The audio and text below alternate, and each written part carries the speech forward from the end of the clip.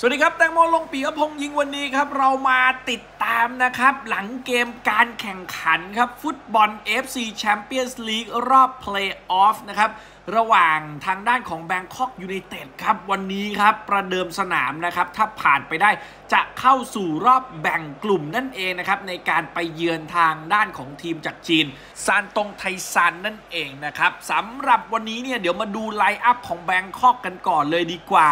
11 ผู้เล่นตัวจริงของแบงคอกยูไนเต็ดวันนี้แบบจัดเต็มไฟกระพริบเลยทีเดียวนะครับ ผู้รักษาประตูปฏิวัติคำใหม่นะครับ แล้วก็กับตันทีมครับ เอเวอร์ตันกอนซาเวสครับพีรพัฒนชัยยานะครับ นิติพงศ์เสลานนท์เจราดี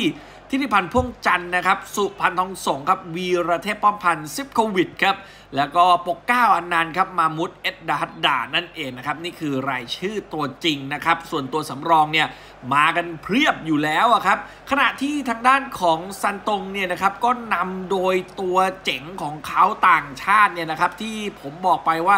น่ากลัวสุดๆนะครับ วาเลลี่ คาซาเอชวิลลี่นะครับ หมายเลข 10 นั่นเองนะครับ คนนี้นี่อันตรายสุดๆจริงๆนะครับอะแต่ว่าทุกสิ่งทุกอย่างเนี่ยเราก็ต้องมุ่งมั่นแล้วก็สู้กันในเกมนี้แหละครับ ซึ่งบรรยากาศในการ warm up ร่างกายต่างๆ ก็นำมาให้ชมกันแบบที่เห็นเนี่ยแหละครับ ก็ถือว่าบรรยากาศดีนะ สนามก็ใหญ่นะครับ แล้วก็หมายมั่นปั้นมือเลยครับว่าเราจะผ่านไปได้นะครับในช่วงก่อนเกมการแข่งขันเนี่ยนะครับอะแต่พอเกมเริ่มมาเนี่ยนะครับจังหวะแรกครับต้องบอกเลยครับว่าไทยเสียวแบบเสียวชนิดที่ว่าเสียวไม่รู้จะเสียวยังไงครับผู้เล่นนะฮะของจีนเนี่ยเขาเลี้ยงตัดในมาหมายเลข 23เนี่ยนะครับเวนเนงนะฮะคือเลี้ยงตัดเข้ามาแล้วเขาได้ยิงครับ แต่พอยิงไปแล้วเนี่ย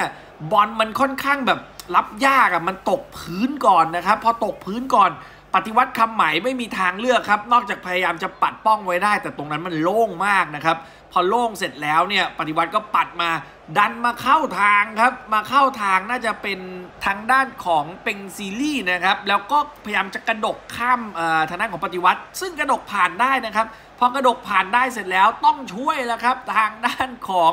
สุพรรณทองสง มาสกัดเอาไว้ได้ก่อนบอลจะข้ามเส้นไปแบบชนิดที่ว่าเฉียดถิวจริง ๆ นะครับ แต่ท่านดูกันอีกทีหนึ่งเนี่ยผมว่า จังหวะนี้น่าจะล้ำหน้าด้วยนะ เออ จังหวะนี้น่าจะล้ำหน้าด้วยนะครับ แต่ว่ามันได้ลุ้นอะนาทีที่ 8 เราเกือบไปนะครับ แต่แบงคอกพยายามที่จะประคองเกมนะครับ ยืดเกมนะครับ ไม่ต้องเล่นเร็วไปสู้กับเขามากสักเท่าไหร่นะครับ เราก็ดึงไปส่งคืนหลัง ซึ่งเป็นสไตล์ที่แบงคอกค่อนข้างที่จะถนัดอยู่แล้วนะครับ ก็พยายามดึงให้ได้มากที่สุด ซึ่งก็โอเคแหละ แต่นาทีที่ 12 เนี่ย ดูเหมือนว่าทีมจากจีนพยายามจะใส่โหมนะ เพราะว่าโค้ชของเขาเป็นคนเกาหลีไงนะฮะ เกาหลีนี่ชอบมาบุกไทยมาเพรสไทยนะฮะ ก็เลยพยายามจะทำแบบนั้น ซึ่งนาทีที่ 12 เนี่ย เดียเจโดนะครับ เลี้ยงตัดเข้าในมา โอ้โห อันตรายนะลูกเนี้ย คือเลี้ยงตัดเข้าในมาพยายามจะยิงนะครับ แล้วบอลเนี่ยดันไปฉลับผู้เล่นของไทยนะ น่าจะไปโดนเอเวอร์ตันหรือว่าสุพรรณเนี่ยแหละครับฉลับออกไปโอ้โหเกือบโดนไปเหมือนกัน นี่ก็เป็นอีกหนึ่งจังหวะนะครับที่ถ้าเขาตัดเข้าในมา แล้วเขามองหาประตูเลยครับเขาะไม่ส่งเลยฮะโอ้รอดไปอย่างบุดวิดนะครับ หลังจากนั้นครับนาทีที่ 15 เรียกว่าช่วง 15 นาทีแรกเขามาดีมากนะ เราต้องประคองเกมเหมือนจะยังหาจับจังหวะไม่ได้เนี่ยนะครับ เป็นทางด้านของจีนหลุดเข้ามาแล้วเหมือนต่อบอลมาที่วาเลรี่คาซาเอชวิลลี่นะครับได้หลุดขึ้นมาตรงนี้แล้วยิงโอ้โหแบบชนิดที่ว่าเผาขนเรียกว่าเผาขนกันเลยทีเดียวแต่บอลเนี่ยนะครับ มันไม่ตรงกรอบ คือถ้าตรงกรอบเนี่ยใส่สกอร์ไปได้เลยนะครับ1ูแต่มันไม่ตรงกรอบ คือมันเดียวๆเลยได้ดวลกับปฏิวัติคำหมายแต่ยิงไม่คมพอครับจังหวะนี้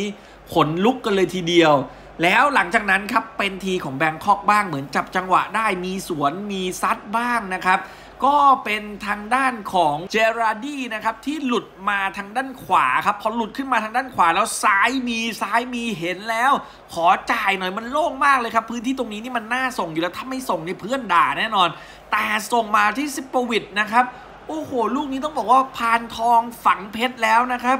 โอ้โห ถวายมาขนาดนี้ซิปเปอร์วิดเสียของเลยครับ ยิงไม่ข้ามครับ ติดประตูเฉยน่าเสียดาย คือลูกนี้ไม่รู้แหละ ถ้าเป็นตัวต่างชาตินี่ต้องเข้าแล้วนะครับ โอ้โห ไม่เข้าได้ยังไงครับ เสียหายเลยครับ จังหวะนี้ก็ต้องยอมรับนะครับว่าเป็นจังหวะทอง โอกาสทองเลยที่เรายิงไม่ได้ครับ คือถ้ายิงได้ลูกนี้นี่มัน โอ้โห ปิดแบบแทบจะ แหม ต้องบอกว่าสบายใจไปได้เปาะหนึ่งแล้วกันนะ เออแต่ก็ต้องชมแนวรับนะครับว่าเออเข้ามาได้เร็วนะ สกัดได้เร็วนะครับ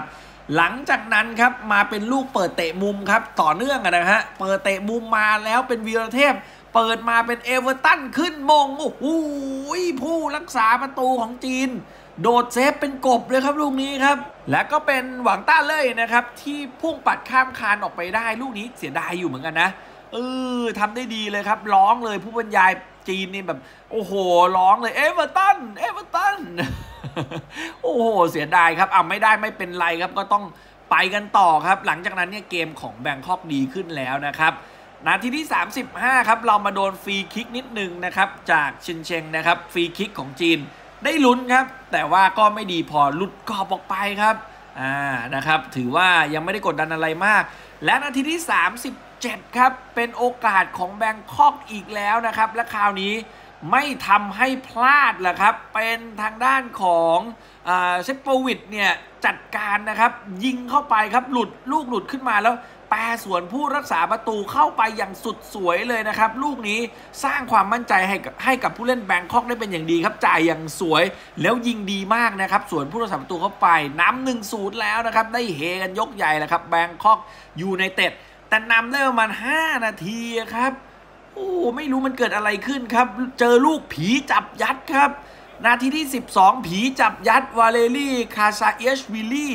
ได้จังหวะเลี้ยงตัดเข้าในอย่างที่บอกไปเลยเลี้ยงตัดเข้าใน แล้วปั่นโค้งโค้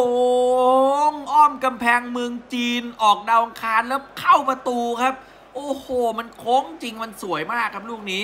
ยอมครับ ไม่รู้ว่าถ้าเป็นปีเตอร์ชไมเคิลจะ save ได้หรือเปล่า แต่ว่าตรงนี้ปฏิวัติคำไหม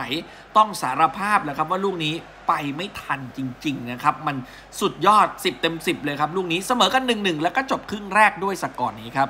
ครึ่งหลังครับกลับมาต่อนะครับ แล้วก็เป็นทางด้านของแบงคอกครบ 1 ชั่วโมงพอดีนะครับ ได้ลุ้นครับจากเจอร์ดี้เนี่ยหลุดขึ้นมาตรงกลางและกองหลังของจีนอยู่กัน3คนนะครับ ไล่บีมาก็ต้องบังคับจ่ายแล้วจ่ายให้กับฐิติพันธ์พ่วงจันทร์นะครับ ออกมาทางด้านซ้ายแล้วโอกาสมีแล้วนะครับ ดึงตัวคู่ต่อสู้ให้ แล้วเจอร์ดี้เนี่ยพยายามจะวิ่งแฟกลายทะลุไปให้นะครับแล้วกะว่าจะหลอกแนวรับ และครานี้เนี่ยสต่อ4แล้วครับ มันอาจจะยากนิดนึงนะครับทิติพันธ์เลยลองยิงไปเลยครับ แต่ว่าลูกนี้ โอ้โห ไม่ได้ลุ้นนะครับ ออกไปไกลครับน่าเสียดายจริงครับยังหนึ่งหนึ่งครับ หลังจากนั้นครับนาทีที่ 65 ครับแบงคอกเนี่ยเปลี่ยนตัวนะครับเอาเจราดี้ออกนะครับ แล้วก็เอาอากาซานีลงมานะครับ รวมไปถึงเอารุ่งรัตครับลงสนามแทนด้วยนั่นเองนะครับ แทน มามูดเอสนะครับก็ต้องบอกเลยครับมีการปรับรูปแบบเกม และก็นาทีที่ 68 ครับวีรเทพจ่ายออกซ้ายมาอย่างสวยเลยครับ ลูกนี้หน้าได้ประตูขึ้นนำเหลือเกินนะครับ เป็นจังหวะที่ทางด้านของซิปโควิดเนี่ยฮะได้แต่งแล้วหาจังหวะเลงแล้วแบบโล่งๆ ลูกนี้ปั่นโค้งโค้งแต่ดันไปแม่นเสาจนเกินไปแม่นคานครับลูกนี้ฮะ บอลชนคานตุ้มสนั่นเลยครับโอ้โหกระเด้งออกมาลูกนี้เนี่ยเข้าไปเลยดีกว่านะครับ โอ้เสียดายสุด ๆ เลยครับ ชนคานสนั่นเลยครับ เสียดายครับไม่ได้ลูกประตูขึ้นนำครับ และแล้วเกมก็ต้องมายืดเยื้อต่อเวลาอีก 30 นาทีนะครับ จนกระทั่งมาถึงนาทีที่ 106เนี่ยครับทิติพันธ์หลุดเดี่ยวขึ้นมาทางด้านขวาตรงนี้นะครับ แล้วก็มีพื้นที่นะครับ แต่ว่าบอลอยู่ด้านข้างไปนิดนึงครับ ยากนะครับที่จะยิงเนี่ยก็เลยเลือกล็อกหลบมาแล้วก็ปาดให้กับเพื่อนร่วมทีมนั่นเองนะครับ แต่ว่าลูกนี้น่าจะเป็นอากาซานี่ครับ ที่ยิงไม่ดีพอแล้วครับ ไปติดบล็อกแต่จริงๆมันควรจะต้องได้นะครับ โอ้โหอะไรกันครับเนี่ยไม่ได้ตรงนี้นี่พลาดโอกาสทองแบบสุดๆไปเลยนั่นเองนะครับ ต้องบอกว่าจบไม่คมเองนะฮะ และมาวัดกันที่การดวลจุดโทษนะครับ ลูกแรกเนี่ยจีนเนี่ยนะครับ ต้องบอกว่าอาศัยความเฉียบคมแล้วครับ ยิงเข้าไปได้นะครับ แต่ว่าคนที่ 2 ของไทยซิฟโควิชเนี่ยยิงไม่เข้านะครับ โอ้โห และคนที่ 3 ของจีนเนี่ยเป็นคาซาชิบีนะครับ ยิงเข้าไปครับไม่เหลือแล้วก็เป็นรุ่งรัตภูมิจันทึกของเราก็ยิงเข้าไปเช่นเดียวกันนะครับ ขณะที่ลียุนยี่เนี่ยของเขายิงติด save ปฏิวัติแล้วมาเสมอกันแล้ว แล้วก็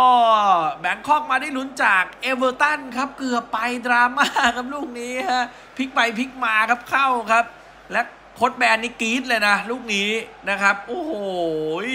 เกือบไปครับไทยฮะแต่ว่าสุดท้ายแล้วเนี่ยเขาก็มายิงเข้าอีก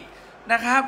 เราก็ต้องลุ้นกันต่อนะครับ ยังเสมอกันแล้วก็อัลกาซานี่เนี่ยก็ยิงเข้าไปเช่นเดียวกันนะครับ และลูกสุดท้ายของเขายิงเข้าแล้วครับ และไทยเนี่ยพลาดไม่ได้นะ คือถ้าพลาดเนี่ยเรียบร้อยเลย แล้วก็เป็นทศวรรษครับ ที่ยิงไม่เข้านะครับ